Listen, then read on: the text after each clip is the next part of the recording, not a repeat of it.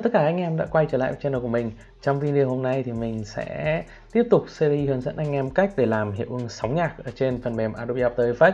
Thì như ở video trước mình đã hướng dẫn anh em cách cơ bản nhất để anh em có thể làm được cái hiệu ứng sóng nhạc ở trên AE. Thì anh em có thể xem cái video đấy ở đây, ở phần trên góc trên cùng của màn hình. Còn trong video hôm nay thì chúng ta sẽ làm cái hiệu ứng sóng nhạc này với cái phần mềm After Effects nhưng là chúng ta sẽ sử dụng hiệu ứng Particular và đây là một cái bài nâng cao hơn rất nhiều so với cái video trước. Và đương nhiên là thời lượng render của nó cũng rất lâu. Mình nghĩ là phải hơn 36 tiếng đấy. Thậm chí phải tới 72 tiếng cơ, nếu anh em làm video dài.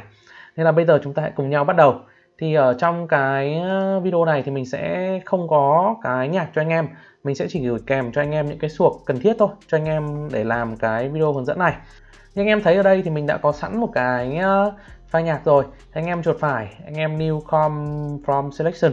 Đấy. Sao anh em đổi tên nó cho mình thành uh, audio? Rồi. Sau đấy thì anh em chuột phải new composition. Anh em tạo cho mình một cái com tên là particular bg thì anh em sẽ không cần phải chỉnh thời lượng nhé bởi vì lúc nãy là mình đã ở lúc tạo cái com audio này này thì mình đã tạo nó nên nó mặc định sẽ duration cho mình tương đương toàn bộ cái thời lượng của cái à, bài hát luôn. Rồi sau anh em chuột phải new em chọn cho mình cái solid layer. Đây sau anh em search cho mình ở mục effect em preset này nhá. Anh em search cho mình ở effect em preset. Cái uh, hiệu ứng được gọi là particle đây particle system 2 đấy anh em chọn nó. Anh em kéo nó vào đây này. Đấy ở đây thì mình dùng cái phím tắt. Thì ở đây chúng ta sẽ phải tinh chỉnh lại một số thứ. Đầu tiên là anh em sẽ chỉnh cho mình cái bitrate này thành 0.1 này cho nó bé đi đã. Sau ấy chỉnh cho mình cái thời lượng thay đổi long city này lên 6 ở cái radius x và y này anh em sẽ chỉnh cho mình nó gọn lại thành một này. Một này. Ở fixing này anh em để nguyên cho mình là x pro ship uh, ờ, velocity này anh em chỉnh cho mình thành 0.1 cho nó gọn lại. Gravity này à, cũng về không. Cái direction này mình cũng để không luôn.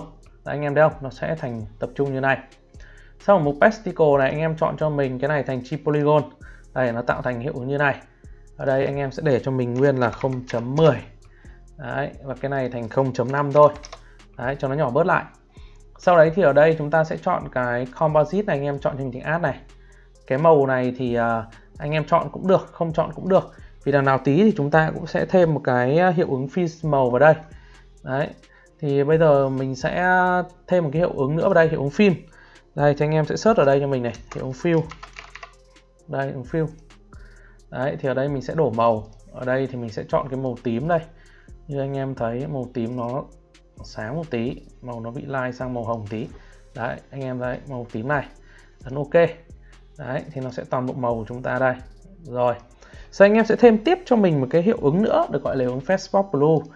Đấy, anh em thêm cho mình hiệu ứng fast pop Blue. Đấy. Thì ở đây à, chúng ta sẽ đổi cho mình cái này thành hai và cái này anh em giữ nguyên cho mình là horizon. Sau tiếp tục chúng ta sẽ search tiếp một hiệu ứng nữa. À, để thêm vào anh em cũng search ở mục effect này nhá. Thì mình đang dùng phím tắt thôi cho dễ. Cc radius đây phép blue. Rồi xong anh em sẽ chỉnh cho mình cái standard này thành prenet anh em nhìn thấy không? Và anh em chỉnh cho mình amount này thành 120 đi. Đây như thế này chẳng hạn. Đấy hoặc anh em có thể chỉnh cho nó thành à, 90 thôi. Đây 90 đi trông cho nó đẹp một chút. Đấy chúng ta đã có tương đối rồi sau anh em sẽ search tiếp cho mình một cái hiệu ứng nữa được gọi là hiệu ứng ờ, FinS s. Rồi anh em sẽ để FinS s này cho mình thì anh em sẽ uh, để cho mình khoảng invert này. Sau anh em để cho mình khoảng 50 phần trăm. Fin s này để 50 phần trăm rồi đấy anh em thấy không? Chúng ta đã có hiệu ứng như này rồi. Sau bước thứ hai anh em chuột phải new tạo cho mình cái solid thứ hai. Em ấn ok. Anh em click lên cho mình cái hiệu ứng ờ, ở trên này ellipse tool sau anh em sẽ vẽ cho mình một cái mask ở giữa đây? Đây, anh em sẽ vẽ cho mình một cái mask. Anh em nhớ giữ phím shift nhé đấy, vẽ cho mình một cái mask làm sao nó ở giữa như này. Đấy. Xong đấy, anh em sẽ ở dưới đây, anh em chọn cho mình thành luma à, invert đấy. Và cái mask này anh em để cho mình cái filter này thành 100 đấy, để nó mờ đi, nó nằm ở giữa thôi. Đây anh em thấy nó nằm ở giữa đây. Đấy. Rồi. Rồi, anh em sẽ quay ra anh em chuột phải, new composition anh em tạo cho mình một cái là particle nữa. Đấy, anh em chuột phải, new solid. Chọn cho mình à, tạo cho mình một cái layer. Đấy, anh em lại search cho mình ở mục effect này. Sẽ ứng à, particle, system 2 ok, quay mục effect control thì bây giờ chúng ta sẽ lại uh, tiếp tục uh, add tiếp một cái hiệu ứng nữa. Thì nhiều anh em sẽ hỏi là tại sao lại phải làm nhiều như thế? Bởi vì nãy cái file demo ấy như anh em xem ở đầu ấy nó có xoay rất là nhiều vòng. Thì chúng ta sẽ phải tạo rất là nhiều các cái khác nhau. Thì ở đây cái uh, bitrate ở đây mình sẽ lại để thành uh, uh, 0.6 thôi. Đây xong cái này anh em để 6 cho mình. Cái producer này để nguyên. Fishing này thì anh em sẽ chỉnh cho mình thành explosive để nguyên này. Chỉnh cho mình cái velocity này 01 này cái này, anh em sửa thành không? Cái này thì anh em để nguyên cho mình. Đây thì anh em lại đổi cho mình thành chi polygon. Cái này anh em để cho mình 0.15 này, ok. Cái này mình đổi thành 0.5 rồi ở đây anh em lại đổi cho mình cái composite này thành as tiếp cho mình. Đấy, nó phải là as cho mình thì nó mới hiển thị được. Rồi anh em ở mục effect, anh em lại search cho mình ứng uh, fast box blue. Đây, anh em lại để cho mình là hai rồi sau chúng ta lại tiếp tục tiếp hiệu ứng nữa. À, ở cái Facebook Blue này chúng ta lại tiếp tục cái hiệu ứng nữa là hiệu ứng uh, tinh tức là hiệu ứng đổ màu. Đây đổ màu vào đây. Anh em chọn cho mình cái màu này là cái màu lúc nãy nhé ở bên cái Pasticle Pico này. Đây anh em copy cho mình cái màu ở đây. Đây copy vào đây. Xong sang đây. À, anh em paste vào đây. Đấy là được rồi, sau anh em search tiếp cho mình cái hiệu ứng nữa. Anh cứ vào mục effect ở đây nhá. Thì anh em search cho mình cái hiệu ứng được gọi là finesse ở đây. Đây, finesse đây. Sau anh em ấn invert nó? Đây, chúng ta sẽ để nó là khoảng 30 phần trăm thôi. Đấy, anh em đã thấy không? Sau khi anh em đã tạo xong được như này rồi, đây chúng ta có như này đây. Anh em thể nhìn thấy là chúng ta đã có mọi thứ như này rồi. Anh em chuột phải, anh em tạo cho mình thêm một cái layer solid nữa. Đây. Sau anh em vẽ mask cho mình? Thì anh em căn theo cái đường trung tâm này này để mà anh em à, biết được là chúng ta cần à, vẽ như nào cho nó vào giữa. Đây chẳng hạn. Đấy, cho nó vào giữa. Sau anh em vẽ tiếp cho mình một cái to hơn ở ngoài nữa? Đấy. Sau anh em sẽ click vào chữ mask nhá. Thì anh em nhìn cái tâm ở giữa này này. Anh, mà anh em căn cái hình tròn. Đấy, thì mình sẽ căn sao cho nó vào đúng giữa cái à, tâm của nó. Và anh em bật cái grid này lên. Đấy, anh em bật cái grid lên đây, mình sẽ bật cái title action shape lên. Anh em sẽ có cái biểu tượng đây này. Đấy, anh em căn theo nó để mà sao cho chuẩn cái hình tròn của anh em vào giữa. Đấy. Rồi, mình sẽ nhịch dình nó lên tí. Anh em giữ alt nhé thì anh em sẽ chỉnh được.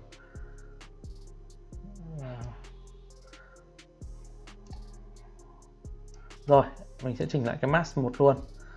Đây, anh em sẽ chỉnh cho nó vào đúng giữa luôn. Đấy, nó phải đúng giữa như này. Đúng giữa hình tròn. Rồi ok. Đấy sau đấy anh em sẽ ờ, thêm cho mình cái hiệu ứng ờ, audio spectrum vào đây.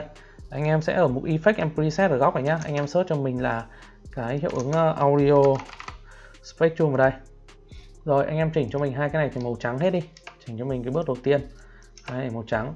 Ở đây anh em sẽ chọn cho mình cái mục này là audio. Anh em chọn cho mình là mask one. À, và dưới đây mình quên mất à, chúng ta phải chỉnh hai cái này hai cái filter ở đây nữa. Anh em cho thành 100 hết cho mình. Đây. Đấy chỉnh 100 hết.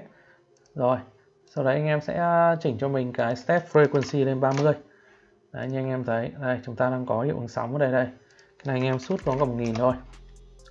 Cái frequency bank này thì uh, frequency bank này thì anh em sẽ chỉnh nó lên cho mình khoảng 200 đi. Uh, cái này thì mình để khoảng 950 mình nghĩ là phải cho to hơn. Mình sẽ cho nó to lên cho khoảng hai nghìn rưỡi đi. Cho to hẳn lên. Ở đây cái audio duration này thì uh, cái audio duration này anh em để cho mình làm 200 rồi để xem nó có thưa quá không. Ừ, để khoảng 200 đi cũng được không sao. Đấy anh em để cho mình cái softnet này về không. Uh, Dynamic Fast Start đi đây chỉnh analog line. Chọn slide B thôi để nó chỉ hiển thị ở ngoài như anh em thấy này. Đấy nó chỉ hiển thị ở ngoài như này thôi. Sau anh em sẽ chỉnh cái phần ở dưới này thành Luma Invert đây Luma Invert Solid 5 cho mình. Sau anh em tắt cái mắt đi. Đấy anh em tắt cái mắt đi là được. Đấy. Anh em sẽ thấy nó hiển thị như này. À, rồi thì uh, sau đấy bây giờ thì chúng ta sẽ ra cái uh, giao diện project. Anh em chuột phải new composition. Anh em chọn main cho mình đấy, tạo một cái main. Anh em thả cái particle background vào. Thả cái particle này của chúng ta vào. Đây, anh em chỉnh cho mình thành chế độ hòa trộn là add hết. Đấy, anh em thấy không? Đấy, chúng ta bắt đầu có hiệu sóng nhạc chưa? Đấy. Rồi, bây giờ anh em sẽ nhân đôi cái layer particle lên cho mình và phím tắt là phím Ctrl D. Nhân đôi lên để cho nó sáng lên. Sau đấy, ở mục effect em preset ở đây. Đấy, effect em preset. Anh em search cho mình hiệu ứng gọi là exposure add vào đây. Để cho mình cái exposure này lên hai này à, trên này anh em cũng add exposure cho mình. Đây lên 3 cho nó sáng hẳn cái uh, ở trong này lên. Đấy cho nó sáng hẳn lên đã. Rồi. Sau đấy thì bước tiếp theo anh em làm gì? Bước tiếp theo anh em sẽ lại tạo cho mình một cái uh, uh, particle nữa. Tạo cho mình cái particle nữa. Anh em có thể nhân từ cái particle ra cũng được. Anh nhân cho mình cái nữa. Đấy anh em đổi tên nó là đổi tên nó ra cho mình đây hoặc không thì anh em sẽ chuột phải đây. New đi tạo hẳn một cái particle mới cũng được. Uh, chúng ta sẽ tạo cái ờ, particle 2 đây particle 2 đấy xong anh em có thể uh, anh em có thể copy cái mask ở bên này sang cũng được. Là bây giờ chúng ta sẽ chuột phải đã. New này anh em tạo một cái solid nữa cho mình. Đấy chúng ta sẽ lại tạo tiếp một cái uh, plastic một cái gọi là để nó xoay tiếp nữa. Bởi vì chúng ta có ba lớp xoay liền cơ mà. Nên là chúng ta sẽ lại tiếp tục thì anh em sẽ search cho mình ở mục effect and preset ở đây. Chúng ta sẽ có hiệu ứng uh, particle uh, system 2 anh em hãy sổ nó xuống cho mình.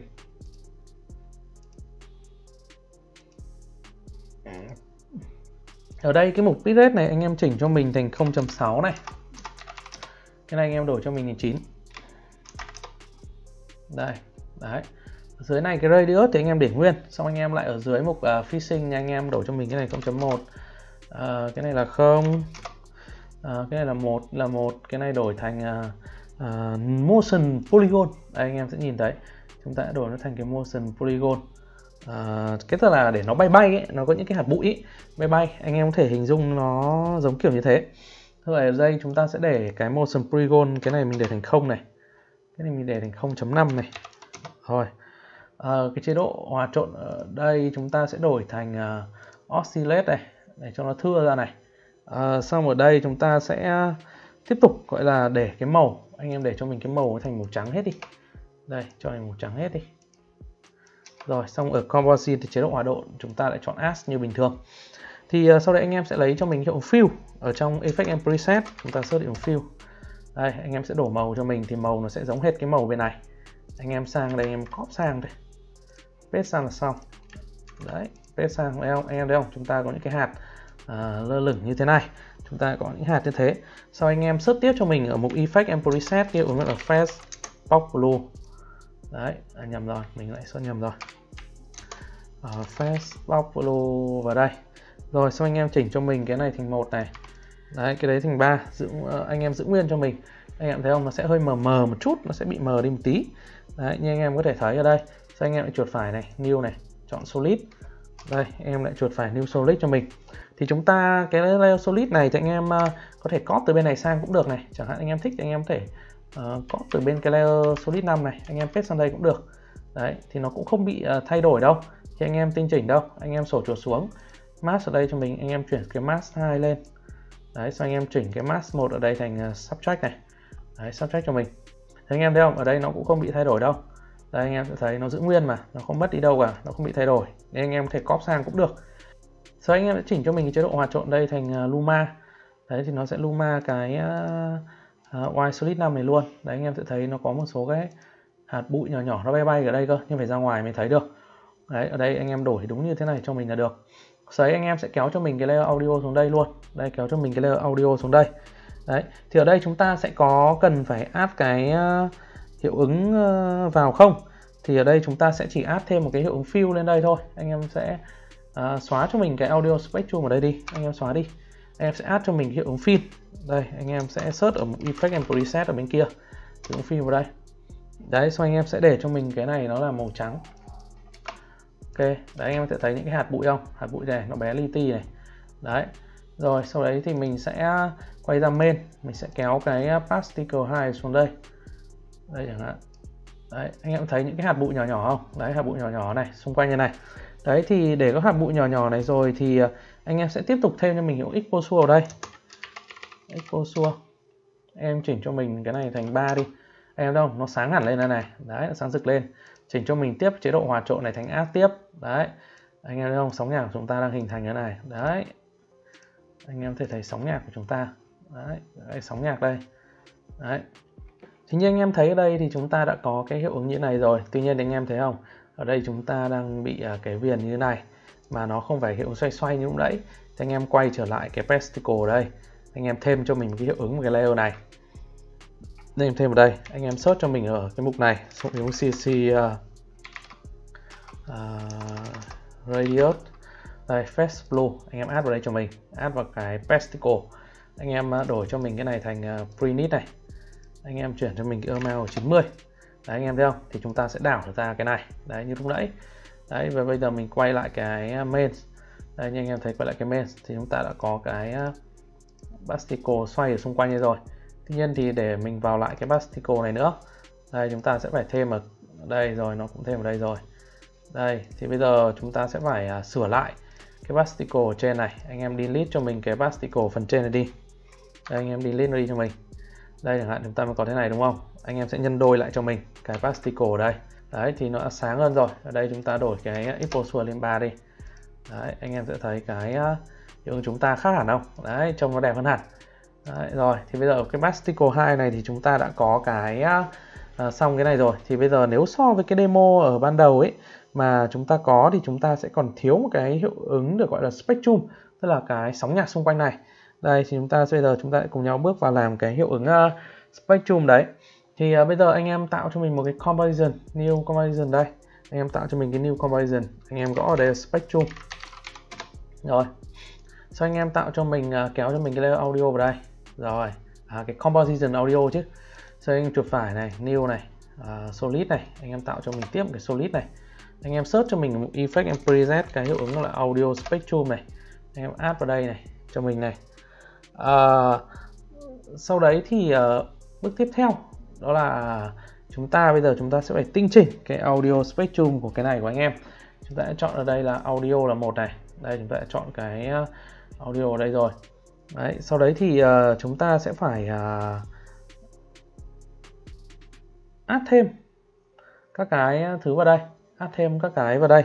Thì anh em sẽ chọn cho mình uh, bây giờ anh em sẽ lại phải uh, vẽ cho mình cái uh, hai cái layer nữa. Lại vẽ cho mình uh, hai cái mask nữa. Anh em phải vẽ, vẽ cho mình cái mask tức là cái mask uh, như lúc nãy ấy. đây như cái mask ở đây này. Anh em sẽ vẽ cái mask như là ở bên uh, này bởi vì nó là cái vòng xung quanh mà. Thì anh em có thể copy cái mask sang cũng được. Đây chẳng hạn anh em sẽ copy cho mình hai cái mask này. Anh em giữ phím shift nhé sau bấm Ctrl C. Đây anh em paste cái mask sang đây. Đấy để cho nó cùng kích cỡ được.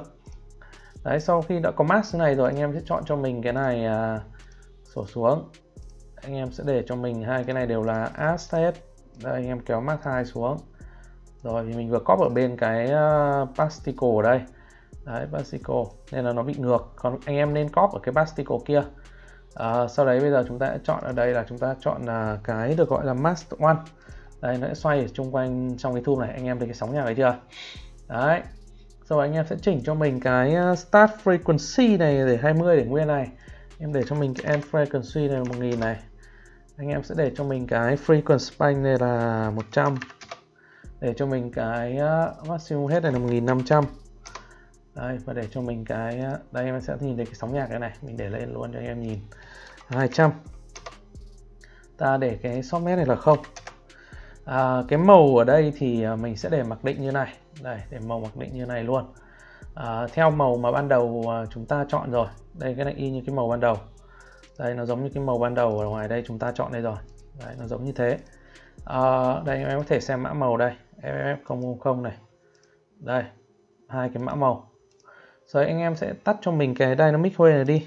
Em chọn cho mình cái digital và đây anh em sẽ chọn cho mình là cả xe A và xe B. Đấy coi như chúng ta để nguyên cái này. Đấy. anh em uh, add thêm cho mình cái hiệu ứng vào đây. Được gọi là hiệu ứng ờ, uh, exposure đấy exposure anh em cho mình là trừ ờ, uh, 2 đi cho tối bớt đi. Sau anh em sẽ nhân layer này lên cho mình? À, nhân là 1 2 3 1 2 3 đấy nhân cho mình làm 4 lần. Thành 4 đấy thì bây giờ chúng ta sẽ à, ấn phím Ctrl D nhé anh em ấn Ctrl D để nhân. Sau đấy thì chúng ta sẽ sửa đổi lại một chút. Thì ở các cái à, ở các cái à, bên này chẳng hạn. Ở các cái này thì chúng ta sẽ lần lượt đổi nó thành size A này chẳng hạn. Đây cái này mình sẽ để là size A này. À, cái này mình sẽ để nó thành size B này à, cái này mình lại để nó là size A này. Đấy. Để cho nó dày lên thôi. Nó sẽ dày cái uh, nó sẽ dày hơn cái à, particle này của chúng ta lên. Đấy, nó sẽ dày lên thôi. Thì đấy là cái tác dụng chính của nó để giúp cho chúng ta có thể làm dày hơn những cái này lên. Dày hơn cái spectrum này chúng ta lên thôi. Đấy. Rồi sau đây chúng ta sẽ quay lại cái giao diện main này. Đây anh em kéo cho mình cái spectrum này xuống đây đây kéo cho mình xuống. Anh em sẽ thấy ở phía bên trong không? Nó sẽ có các cái à, xung nhạc này. Đấy cái sóng nhạc này. Đấy. Thì bây giờ chúng ta sẽ áp thêm hiệu ứng ở đây ở mục effect và preset. Ở mục effect preset ở đây thì uh, anh em sẽ cho mình cái hiệu ứng gọi là glow. Đây glow vào. Đấy để nó sáng lên. Thì ở cái glow này thì chúng ta sẽ chọn color channel này mặc định này. Anh em sẽ để cho mình glow thread này là 40 phần trăm cho nó sáng rực lên. Uh, gradient này để 15 này à, cái glow intensity này mình để 0.1 thôi. Để cho nó giảm bớt đi xuống còn tất cả hai cái mình đều để à, mặc định. Thì thực ra là cái sáng hay tối này thì nó tùy vào cái mục đích của anh em thôi. Thì anh em có thể để nó sáng hay tối. Mình sẽ add thêm một cái hiệu ứng vào đây nữa hiệu ứng exposure đây mình sẽ cho nó sáng lên hai nữa. Đấy cho anh em nhìn. Đấy anh em có thể thấy hiệu ứng sóng nhạc của chúng ta. Đấy. Ok bây giờ chúng ta sẽ nhân đôi cái spectrum này lên nữa tức là anh em lại uh, đúp nó lên thôi em rút nó lên thì ở đây chúng ta phải chuyển đổi cái này thành as đã. Anh em add nó vào. Đây chúng ta nhân đôi cái spectrum lên. Đấy. Sau khi nhân đôi lên rồi thì uh, anh em sẽ nhân đôi lên. Thì uh, chúng ta sẽ có một cái uh, hiệu ứng uh, gọi là sáng hơn. Đấy và anh em sẽ xóa bớt cho mình cái uh, glow ở đây đi. Anh em sẽ thêm cho mình một cái hiệu ứng ở đây. Được gọi là fast pop blue. Đấy anh em thêm cho mình vào đây. Thì cái fast pop blue này anh em sẽ để cho mình nó là 10 đây, ở chỗ này anh em để cho mình là 10 đấy, để cho nó mờ đi thì trông nó sẽ sáng và đẹp hơn.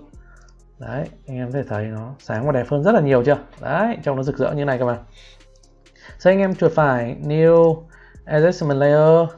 Sau anh em sẽ add thêm cho mình một cái hiệu ứng ở cái adjustment layer này? Ở đây anh em cứ để mặc định chế độ hòa trộn là normal nhé ở cái adjustment layer này.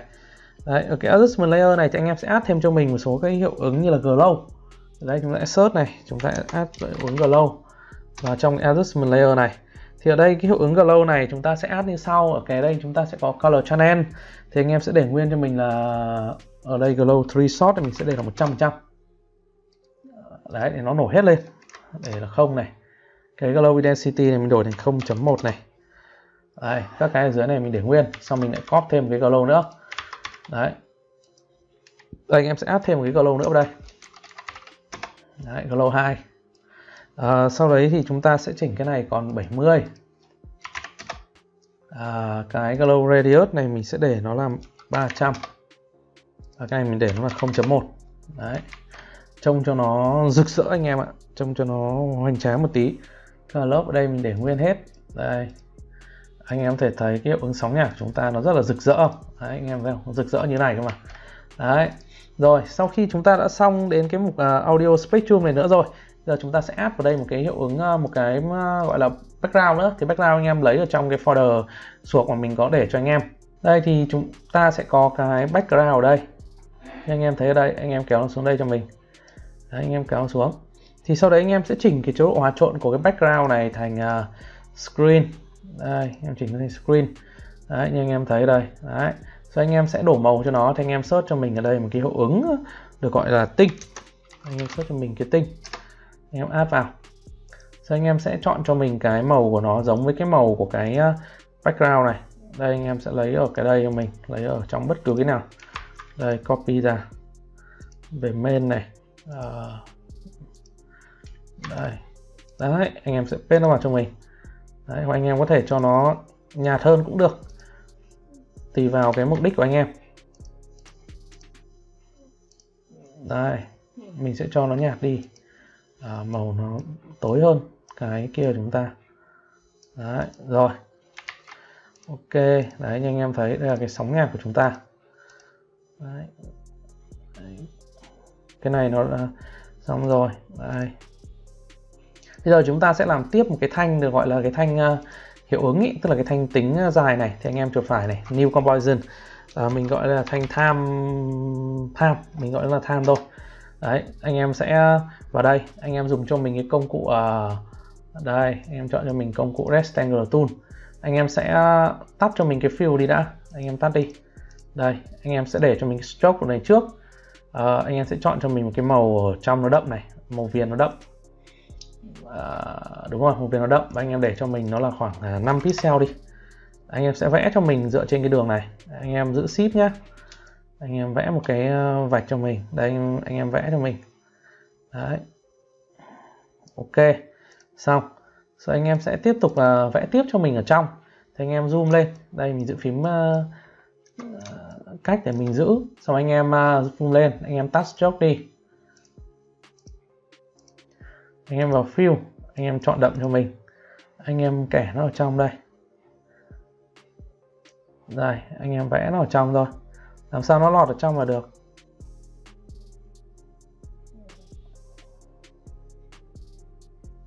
Rồi đấy như thế.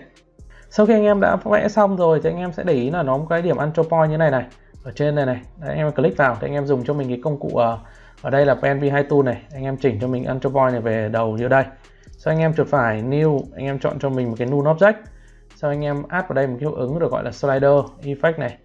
À, uh, express control này. Uh, slider control. Và anh em để cho mình cái này thành 100 sau anh em uh, ấn cho mình phím S. Anh em bỏ cho mình cái tích anh em ấn alt cộng vào. Sau anh em uh, liên kết nó lên cái null 2 cho mình. Sau anh em sẽ copy ở trong cái file script mình có để kèm cho anh em. Anh em copy vào đây. Paste vào là xong đấy, anh em chỉ cần paste vào thôi, là ok, là nó sẽ tự nhận. Ở đây thì nếu như nó bị sai như ở đây, bởi vì nó là null 1 thì anh em sẽ phải sửa cái à, khái niệm ở đây thành null 2 thông thường của anh em là null 1 thôi. Đấy, thì anh em thấy không? Nó sẽ tự động chạy hết theo thời gian như thế này. Đấy, xong mình sẽ quay về đây.